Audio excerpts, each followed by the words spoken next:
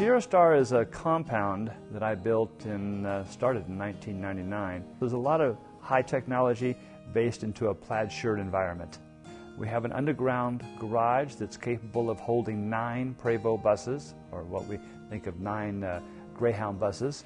The garage actually it goes subterranean, and as you put car or cars on the lift, it drops down and you drive into the main garage.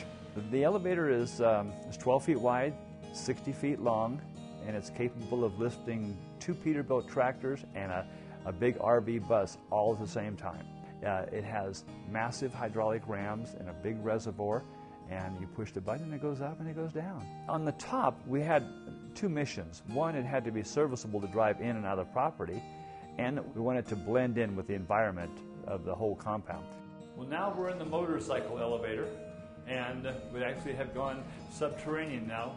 In the motorcycle elevator, we can put two motorcycles in here and move them out into the garage. As soon as you walk out, of course, the lights come on, you can see the space.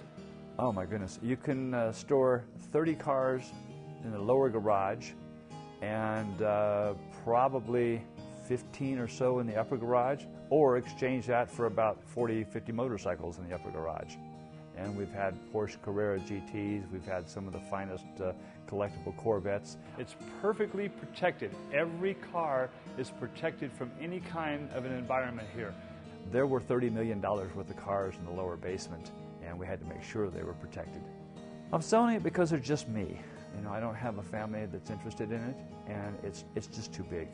And the next person, I hope, has as much joy as I've had here. It's, it's just magnificent.